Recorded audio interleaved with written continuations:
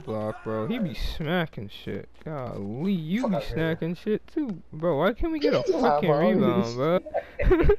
that was double lock take is toxic, bro. oh my Good ball, god.